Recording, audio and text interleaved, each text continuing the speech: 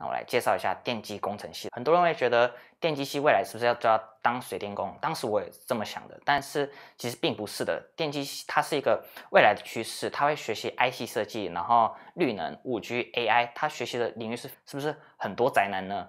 呃，电机系男生很多，然后我们很常需要用到电脑，因为我们很多作业啊，或是我们专业技能都是要透过电脑去做学习的。然后我们因为男生比较多，所以我们男生也比较爱打电动，所以看起来比较像是很多宅男，但。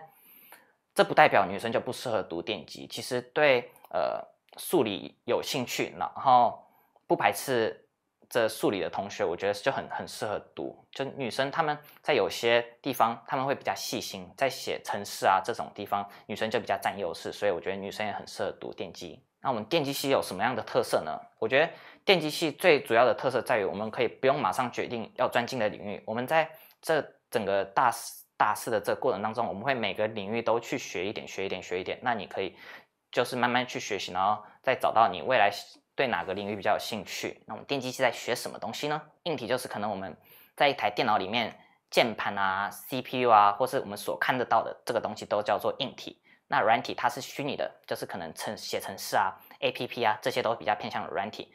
那韧体是什么东西呢？它可以算是硬体跟软体的。呃，一个沟通的桥梁。接着我要来分享我们电机系，名字电机系的三大核心的部分。我们有分电力组、控制组，还有通讯组的部分。那电力组就是呃，可以分成能源组跟电力电子组。这个组别上，我们比较会学习的是硬体跟韧体的部分。那控制组的地方，我们它就是比较偏向写软体 AI 啊，然后去。控制机器人啊，或者机械手臂，这这个组就比较偏向软体的部分。接着就是通讯组，那通讯组他就会去学习如何去设计天线啊，然后光纤跟无线传输也都在这个组别会去学习的。那我再讲仔细一点，电力组到底在学什么呢？那现在特斯拉很新奇，那在特斯拉里面的电池，我们可能在电力电力电子组，我们会去学习电池的充放电啊，然后它的测试它的稳定度，然后它的健康度等等，我们都是这个在我们。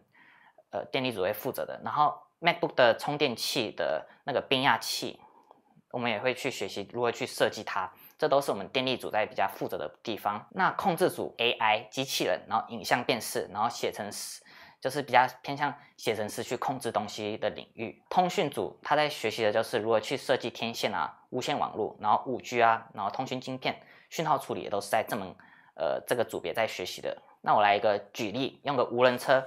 电力组比较负责的是它的电池的部分跟一些马达控制的部分，那控制组比较负责的就是智慧控制、智慧驾驶的部分，它可能比较偏向软体的部分。那通讯组在学习的地方就是多媒体传输，透过蓝牙、透过五 G 啊，多媒体传输，这可能就是通讯组在学习的地方。好，那我来简单介绍一下电机系四年的课程。我们一二年级的时候真的课程超级多，真的很忙很忙很忙。那大三的时候我们整年会去攻读，大四的时候就比较会轻松一点。那我来介绍一下大一大简单的一些课程。首先是城市设计。那我们在这门课上，我们会学习一些它的一个城市的概念，然后函式，然后我们就会去上机练习。那很多人会听到 C 加加跟 Python，它的差别在哪里呢？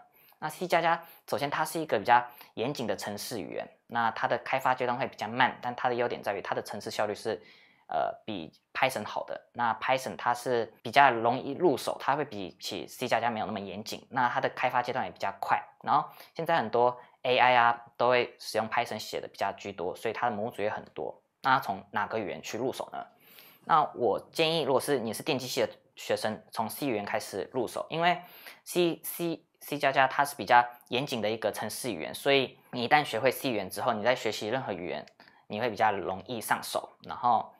如果你是非电机系的同学，我就觉得你可以从 Python，因为 Python 它学习会比较容易，所以你的就是成效会比较快。然后如果你对 AI 啊、大数据有兴趣的同学，也很适合就从 Python 开始入手。那我认为这个城市设计这个东西是人人都要学习的一个工具，因为我们可以从中去练习我们的逻辑概念，特别是电机系的同学，我们不能只懂硬体的东西，我们很多东西是透过。